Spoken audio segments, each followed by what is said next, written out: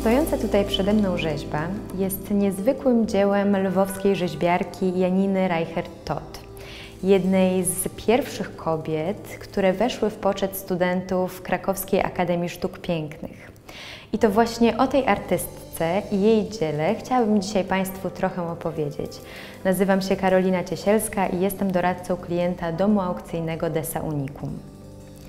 Już w momencie rozpoczęcia swoich studiów na Akademii Sztuk Pięknych w Krakowie w 1918 roku młoda Janina Reichert miała za sobą edukację w Państwowej Szkole Przemysłu w Lwowie na Wydziale Rzeźby Dekoracyjnej.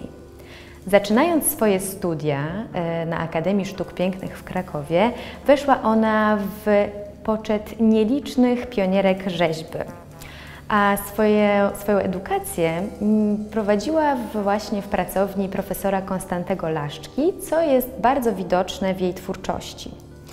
Po ukończeniu akademii artystka wróciła do Lwowa, gdzie stała się taką kluczową, centralną postacią rzeźby artystycznej.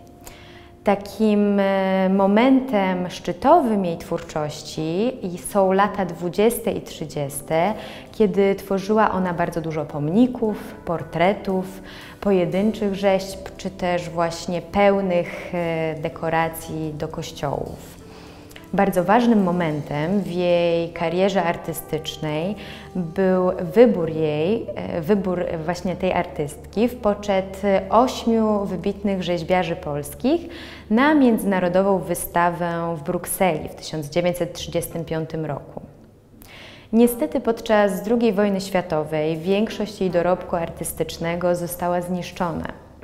Ten stojący tutaj odlew z drugiej połowy XX wieku jest jednym z nielicznych e, pamiątek po twórczości e, artystki. E, jest to głowa kobiety wykonana z brązu i jest to realizacja bardzo emblematyczna dla twórczości Janiny Reichert-Todt. Ta kompozycja jest e, niezwykle płynna i taka mm, harmonijna, co jeszcze bardziej podkreśla idealnie zachowane proporcje. Inną charakterystyczną cechą dla twórczości tej artystki, którą właśnie możemy dostrzec tutaj w tej rzeźbie, jest takie proste, czyste potraktowanie bryły i wyraźne przejścia między skupiskami masy. Jest to zaledwie jedna z wielu bardzo interesujących prac na naszej aukcji Rzeźba Kameralna, do udziału w której serdecznie Państwa zapraszam.